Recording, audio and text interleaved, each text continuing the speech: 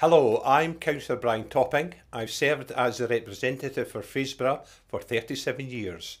I'm a lifelong campaigner for Scottish independence. I'm joining Alba Party for its final push to realise my lifelong dream of a better country. I know as a campaigner here in the North East that SNP votes 1 and 2 didn't work. In 2016, no one was returned in the North East.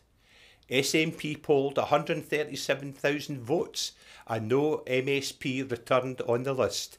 Meanwhile, 85,000 votes saw four Tory MSPs elected. Nationally, 1 million votes saw only four list SNP MPs returned. Currently, polls predict that not even one would be re elected this time round. To deliver the better and fairer nation that we know Scotland can be, we would need every vote to count and we need a supermajority for independence delivered by the list. Only list vote Alba can deliver that. That's why I'm joining Alba, voting for the Party of Independence in the constituency and voting Alba on the list.